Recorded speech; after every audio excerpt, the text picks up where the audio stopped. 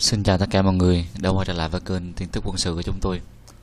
Sau đây là bản tin Trung Quốc tung tin Việt Nam mua tiêm kích đa năng IF-2000 Typhoon. IF-2000 Typhoon là chiến đấu cơ thế hệ mới của châu Âu. Thiết kế của nó tập trung vào khả năng đánh chặn tốc độ cao, được cho có thể thay trước bắn trước khi đối đầu với tiêm kích Su-27. Các cuộc không chiến mô phỏng đều cho thấy kết quả hoàn hảo nghiêng về IF-2000 nhờ động cơ radar rất ưu việt. Tất nhiên, cũng có thể áp chế được chiến đấu cơ C-10 một cách dễ dàng. Nếu mua 1 đến 2 trung đoàn máy bay Typhoon, Việt Nam có thể giành được ưu thế trên không trong trường hợp phải chiến đấu bảo vệ chủ quyền nếu xảy ra xung đột quy mô nhỏ tại Biển Đông và tạo thành mối đe dọa lớn đối với biên đội tàu mặt nước của đối phương. Giới quan sát Trung Quốc cho rằng, mặc dù đã trang bị tàu sân bay Lưu Ninh, nhưng do tính năng tác chiến trên không của tiêm kích, hạm J-15 vẫn không tốt như Su-27. Chúng sẽ không đạt phải là đối thủ của Typhoon, vì vậy tàu Liêu Ninh gặp nhiều bất lợi và rất khó hoạt động an toàn tại Biển Đông.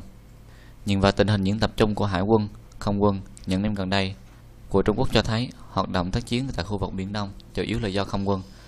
Tàu Liêu Ninh không tham gia vào các cuộc xung đột giả định, ít nhất không thể chiếm được vị trí chủ đạo trong giai đoạn đầu xung đột. Trong khi đó, chiến đấu cơ tàng hình J-20 mang số hiệu 2101 của Trung Quốc là máy bay đầu tiên của phiên bản sản xuất, dự kiến sẽ phục vụ trong năm 2016. Chỉ có trang bị lượng lớn J-20, không quân nước này mới có thể tồn tại trong chiến tranh tương lai. Lấy cớ các nước láng giềng hiện đại hóa không quân, truyền thông cũng như giới quan sát Trung Quốc hô hào rằng Trung quân đội quân đội Trung Quốc đã đẩy nhanh việc triển khai tiêm kích tàng hình J-20 vì nó là chiến đấu cơ tàng hình hiện đại cùng thế hệ với F-22 của Mỹ, có ưu thế so với các máy bay chiến đấu phi tàng hình như Typhoon. Theo một số nguồn tin Trung Quốc, ngay cả khi quân đội như Việt Nam ký hợp đồng mua Typhoon trong năm nay, cũng phải sau 2-3 năm mới có thể tiếp nhận lô chiến đấu cơ đầu tiên còn J-20 mang số hiệu 2101 đã bắt đầu thí nghiệm trên mặt đất. Lô mẫu sản xuất thử nghiệm rất có thể sẽ được trang bị trong năm 2016.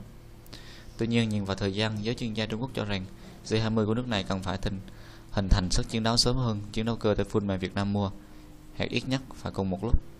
Gần đây, Trung Quốc đã đẩy nhanh việc xây dựng trái phép sân bay trên các đảo nhân tạo tại Trường Sa thuộc chủ quyền của Việt Nam để tiện trong việc triển khai các chiến đấu cơ, máy bay canh báo, máy bay gây nhiễu điện tử máy bay trinh sát điện tử khỏi đặt khu vực này.